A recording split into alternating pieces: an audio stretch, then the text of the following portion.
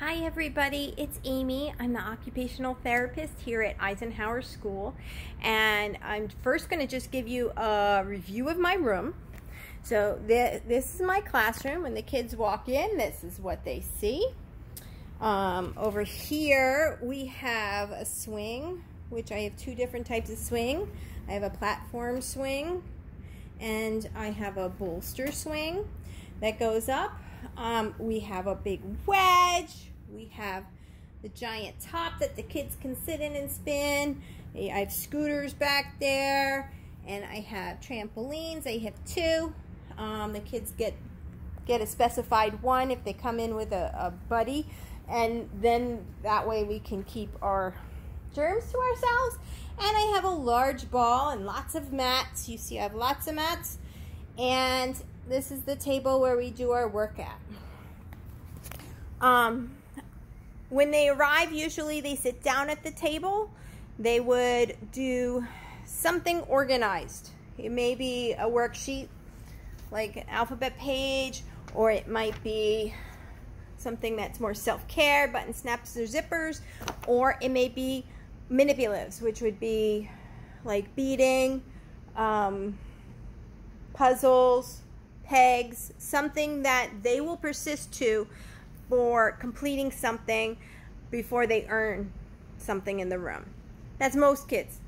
Occasionally I have a kid who does best if they start with jumping on the trampoline.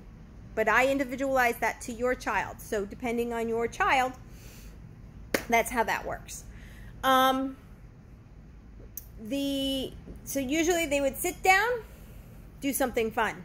Sit down, do something fun. What that teaches them is to slow their bodies down and to speed their bodies back up. So that way, when they're doing things um, in the classroom, they learn how to calm their body down.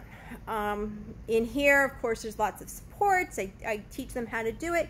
And actually, I do do when I go into my classroom groups is where I actually show the teachers yes, these kids can do that. These kids don't need hand over hand for things. These kids can do things for themselves. The focus in occupational therapy is self-care, fine motor, gross motor, sensory, fine motor, gross motor, sensory, and perceptual, visual perceptual. Um, usually vision, visual perceptual for the, um, people who have autism is very strong. So usually that's a strength that I use with my students. Um, often we'll do things with a puzzle where they have to move the pieces of the puzzle across the room, but they might have to do it on the scooter or do it in an obstacle course so that they have to learn in their brain how to motor plan more than one task at a time. Um, these type of things are the things that get kids stuck in the classroom say they have to go sharpen their pencil or they have to um, go put something on the table in the back room, but something gets in their way. How do they negotiate around it? So we practice that through practicing it on obstacle courses and also doing just activities that are fun. They find these things fun. They think they're they're playing, but really they're they're learning as they do that. Um, I use a lot of positive play in my interactions with them. Um, it's a floor time technique where I am working with the kids um, on them staying engaged and, and interacting with me. So I do a lot of repetition in the beginning, so they may play similar things over and over and over again in the beginning. And then we start adding little changes in there so that they can actually um, learn how to move beyond the repetitive actions. Um, I have a bunch of toys. This is my table thing of toys. I have animals and puzzles and different blocks that they can stack and different um, perceptual things and things with letters and Legos.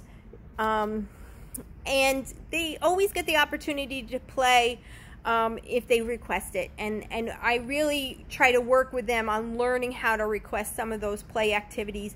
And then we play silly together. I do a lot of silly. So um, if they ever come home and say, Miss Amy's so silly, it's the truth. I am very silly. Um, if you ever want to contact me, I am more than welcome to being contacted all the time. My email address is a Guenzel, G U A G U E N Z E L, at pua.org. Um, I will also send home a little paper with your teachers, and we'll also um, be here tomorrow at back to school night if you would like to come and meet with me. I would love to meet with you. So um, I hope you have a great day, and I'm looking forward to really good success from all your kids this year. Thanks. Bye bye.